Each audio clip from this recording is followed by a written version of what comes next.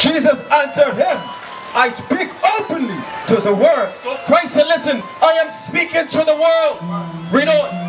I ever taught in the synagogue. The world that Christ was speaking to is the people that were in the synagogue. Read on. And in the temple. And in the temple. Go ahead. Whether the Jews always resort. Whether the Jews always resort. According to the Bible. When you open up the Bible and you read it, the Bible refers to the nation of Israel as the world. The world is not referring to all people. The world is not referring to all of mankind. The Bible is only speaking about one people. Which people? The Israelites. Read that verse again. Jesus answered him, I speak openly to the world. There's no verse in the Bible that you can go to where Christ traveled to China to teach the Chinese.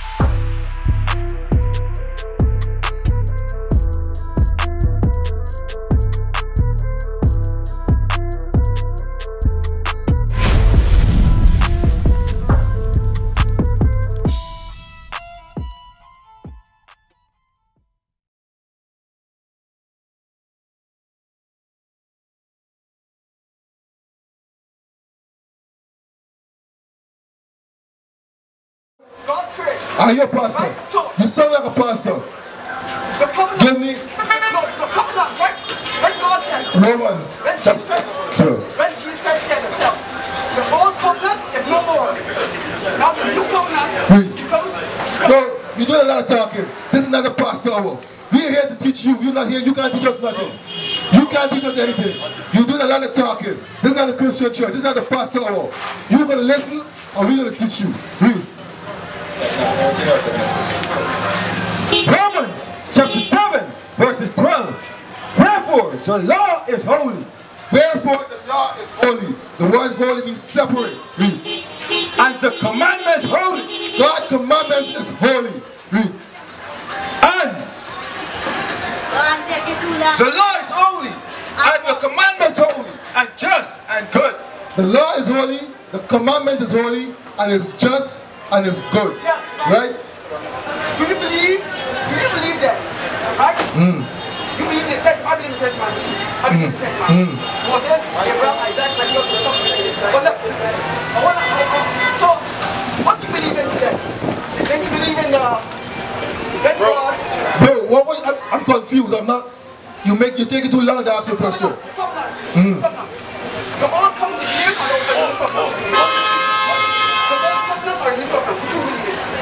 under the old covenant? In fact, when Jesus Christ come and died, Jesus hmm. Christ said himself, hmm. the old covenant is.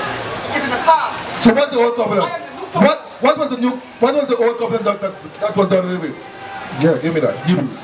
What was the old covenant that was done away with? You remember the, you remember We can show you, we can teach you because you don't know.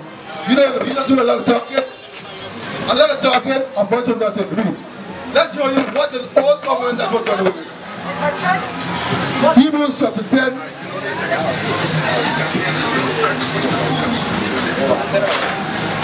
10, verse 4. Hebrews chapter 10, verses 4.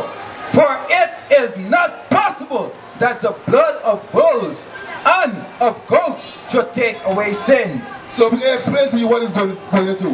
The, the covenant that was done, the law that was done away with was animal sacrifice. That's why Christ came and become the ultimate sacrifice. So we don't have to sacrifice animals anymore. Right? Read.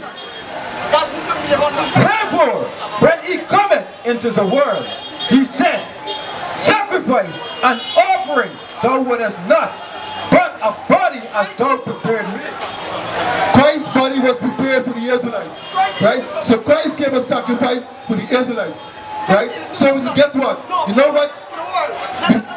Before we used to have to do animal sacrifice, but now we believe on Christ. Right? Yes, he did. Give me Acts.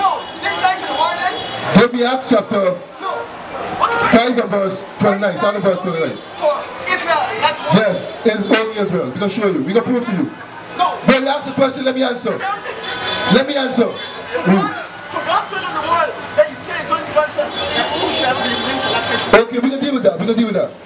First, let me prove that who Christ died for. Read. Acts chapter 5, verses 29. Then Peter and the other apostles answered and said, We ought to obey God rather than men. You ought to obey who? God rather than men. So we not listen to your rumbling. We obey God. We read the scriptures and we go by what the scriptures say. Read. The God of our fathers, The God of our fathers, that's specific.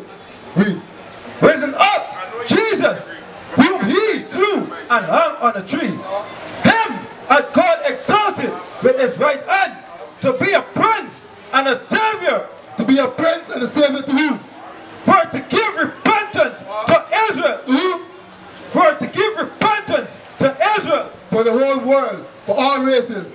for to give repentance to Israel, and forgiveness of sins. So how we prove what we say? We use the Bible to speak. We use the Bible to speak. What scripture do you have to support what you say? For God so loved the world. Go to it, John Then 3.16. his only begotten Son, that whosoever believes in his name shall. John 3.16. Where you get John 3.16? Give me Psalms 119 and 104 before you read John He 3.16. never died for just one nation. Because the very same nation John 3.16 and then hold that and give me Psalm chapter 119 and 104. that he is Christ. The same nation that believe that he was Christ. The same nation. Brother man, slow down. You said John 3.16, right? Quote it. God so loved the world. Can't do it, you don't have it. Uh-huh. That whosoever believes in his name shall not perish, shall have everlasting But have everlasting life. Very good. What does John 3 verses 14 say? What does it say? Just, just so I know that you understand it. What does John chapter 3 verses 14 say? I said 50. What is what is what does 14 say? You know how you don't understand the Bible? Because you only pick and choose like the Christians do. So your understanding of John 3.16 is wrong. But we'll explain it to you. John 3.16. Get John 3 verses 16. John chapter 3, verses 16. We never got your name. What's your name? Who? Andre. Andre? Listen good. For God so loved the world that he gave his only begotten Son, that whosoever believeth in him should not perish, but have everlasting life. So whosoever believe in Christ would have everlasting life, right? Yes. Who was Christ speaking to? Christ was speaking to Who was he speaking to? Everyone? Get John 3 verses 1. all of children. I'm going to show you who Christ was speaking to. Relax, relax. Let's get this. Take a chill pill. Take a chill pill. Hold on, hold on. Hold, relax, relax. Andre, I want you to listen. One second, we'll get to that. John chapter 3 verses 1. John chapter 3, verses 1. There was a man of the Pharisees named Nicodemus, a ruler of the Jews. A man named Nicodemus, the ruler of the Jews, is speaking to Christ when you read about John chapter 3. Now go to John chapter 3 verses 16 again. St. John chapter 3, verses 16. For God so loved the world. So when Christ said, God so loved the world, who is he speaking to? He's speaking to another Israelite, another Jew. But a lot of you Christians today, you pick and choose verses out the Bible and you have no understanding of it. Read John 3.16 again. St. John chapter 3, verses 16. So loved the world. So keep in mind, you have two Israelites speaking, two Jews are having a conversation. And Christ said to the other Israelites with them that God so loved the world. Now who is the world? Andre, who's the world? Who is the world? Give me the definition of the word world. The world, my friend, is everyone and everything that lives inside of it. Everyone and everything. Is that what the Bible's saying? Yes. Is that what the Bible says? Give me John 18 verses 20. Same same book, John chapter 18 verses 20. Hold on, Andre. Listen, let me speak. Let me speak. I'll let you speak. You let me speak. Let's show some manners. We're not angry black people. Let's show. Let's have some respect, right? John 18 verses 20. St. John chapter 18, verses 20. Jesus answered him, I speak openly to the world. Andre, you listening? Christ said he's speaking openly to the world. You said the world is everyone in it. Read that verse again. Jesus answered him, I speak openly to the world. Andre, who's Jesus speaking to? No, no. Listen, listen, just listen. Who is Jesus speaking to? Read the verse again for. Jesus answered him, I speak openly to the world. Who is Christ speaking to? Christ was speaking to. Who was he speaking to? Let's read it again. Listen good. I want you to listen. Yes, people. Yes, people. Jesus answered him, I speak openly to the world. To the who? To the world. Christ is now speaking to the world. The world that God so loved. Let's read on. I ever taught in the synagogues and in the temple. Can the entire population on the face of the planet fit into a temple? Andre, yes or no? Can the entire population on the world be the temple? My brother right here. Can I ask you a question? Can the entire population on the planet fit into a temple? Temple. The answer is no. So let's read that verse again. Jesus answered him, I speak openly to the world. Christ said, listen, I am speaking to the world. Read on. I ever taught in the synagogue. The world that Christ was speaking to is the people that were in the synagogue. Read on. and in the temple, And in the temple. Go ahead. whether the Jews always resort. Whether the Jews always resort. According to the Bible. When you open up the Bible and you read it, the Bible refers to the nation of Israel as the world. The world is not referring to all people. The world is not referring to all of mankind. The Bible is only speaking about one people. Which people? The Israelites. Read that verse again. Jesus answered him, I speak openly to the world. There's no verse in the Bible that you can go to where Christ traveled to China to teach the Chinese. There's no verse in the Bible that you can go to where Christ went to Europe to teach those people scattered there. But Christ said, I am speaking to the world. Read on. I ever taught in the synagogue. Christ said the world that he's referring to is the synagogue. Who dwelt in the synagogue? Let's read on. and in the temple, whether the Jews always resort. Only the Jews dwelt in the synagogue. So who is the world when you read the Bible? The world is referred to the nation of Israel, the Jews. Isaiah 45 verses 17. Andre, I want you to listen because what you're coming with is the slave master doctrine. And we do not support the slave master's doctrine. Read what you got. Isaiah chapter 45, verses 17. But Israel shall be saved in the Lord. The Bible says, I'll read it. We'll read it. Let's finish the verse. The Bible says, what? Read that verse again. Israel shall be saved in the Lord The Bible says, Israel shall be saved in the Lord. Read on. with an everlasting salvation. He shall not be ashamed, Who shall not be ashamed? The Israelites. Read on. nor confounded. World without end. What's the Israelite? World without end. The world in the Bible. The world in John 3.16 is only referring to the Israelites, the Jews, who Nicodemus was speaking to. So John 3.16, let's go back to it. John 3.16, it is not referring to all of mankind. John 3 verses 16. We'll get to the promise, one second. St. John chapter 3, verses 16. For God so loved the world For God so loved the world. Which world? World of the Israelites, the world of the Jews. Read on. that he gave his only begotten Son, That he sent Christ, the black Messiah, that whosoever believeth in him should not perish, but have everlasting life. Now give me Romans chapter 9. Let's deal with the promise. You said the promise Abraham, right? Romans chapter 9. We'll read it. We'll read it. We'll go to Romans 9, then we'll go to Hebrew. 9 verses 3. For I could wish that myself were accused from Christ for my brethren, my kinsmen, according to the flesh.